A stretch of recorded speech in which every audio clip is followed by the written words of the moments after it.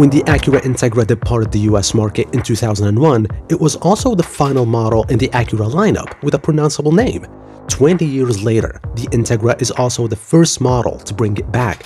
Replacing the ILX in the Acura lineup, the Integra is primed to cater to both nostalgia buffs and young enthusiasts alike. Like the first generation Integra from 1986, the prototype will take form of a liftback sedan, though clearly modernized with current Acura styling cues. That means LED headlamps with chicane-shaped signature lighting bookending an angular diamond pentagon grille up front. Sweeping taillights with a notched internal design appear on either side of an aggressive fastback rear hatch. A crisp line rises from the front wheel arch, cutting through the front door and giving the profile some aggression without ruining the Integra's clean design. The front and rear bumpers also get retro-inspired Integra logos embossed into the plastic. A longish front overhang, small dash-to-axle ratio, and arching roofline betray the Civic hatchback that likely hides behind those Acura spec design cues. However, Acura did a good job of dressing up the Integra with a clean front end thanks to its frameless grille and a hood that somewhat recalls the second generation Integra and how it integrates into the bumper and fenders. Even the Indy yellow color is intended to recall the Integra Type R's Phoenix yellow.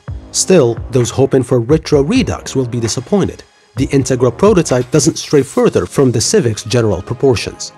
Since it's a design exercise, the Acura Integra prototype doesn't actually have an interior. We presume it will use the lovely Civic as a jumping off point, dressed up a bit with the TLX's wing-like contrast colored lower dash, as well as softer materials throughout the cabin. Acura's true touchpad interface might show up, or the Integra could make use of a reskinned version of the Honda Civic's intuitive infotainment, replete with a 9-inch touchscreen and wireless Apple CarPlay and Android Auto.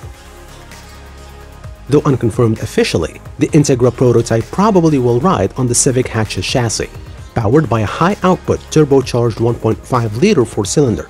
That's the same phrasing Honda uses to describe the engine in the Civic Si sedan, but we hope Acura squeezes a bit more power relative to that car's 200 horsepower and 192 pound-feet of torque. Even if not, if you want a Civic Si with the convenience of a liftback, the Integra is as close as you will get, and that will be reason enough for some to choose it. Unlike the manual-only SI, the 2023 Integra will offer both a 6-speed stick and a spec unconfirmed automatic transmission, likely a continuously variable transmission. Front-wheel drive will be standard, and it doesn't appear that the Acura Integra prototype or its production intent successor will offer torque vectoring super handling all-wheel drive.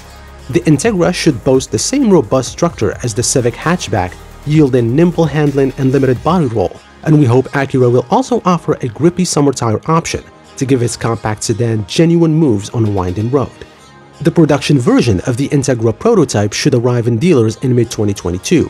Exact pricing is unknown, though Acura did say the production vehicle would start at around $30,000, stealing attention from the more expensive Mercedes-Benz A-Class and BMW 2 Series Gran Coupes.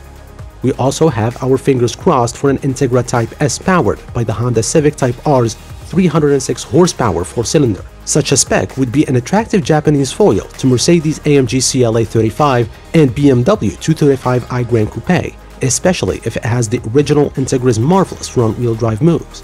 Regardless, we are thrilled to see Acura resurrect such a storied name from its past and can only hope the trend continues. For more on the Acura Integra prototype and its 2023 production variant, stay tuned. So, what do you think of this new Acura? Let me know in the comment section below. Don't forget to like, subscribe, and turn on notifications for the latest car reviews and news. Take care, and see you in the next one.